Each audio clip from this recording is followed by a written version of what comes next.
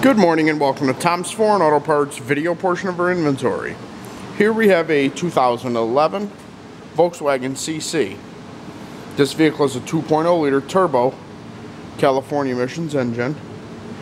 The vehicle is also equipped with an automatic transmission, cruise control, anti-lock brakes, and is also front wheel drive. This vehicle was purchased locally through one of our auctions due to the front end collision. The vehicle does still have a good power factory driver's door mirror.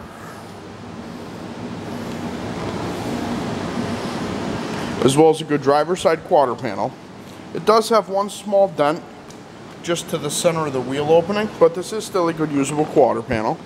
The vehicle does still have a good driver's side quarter mounted taillight, as well as a very nice trunk lid and right side quarter mounted taillight.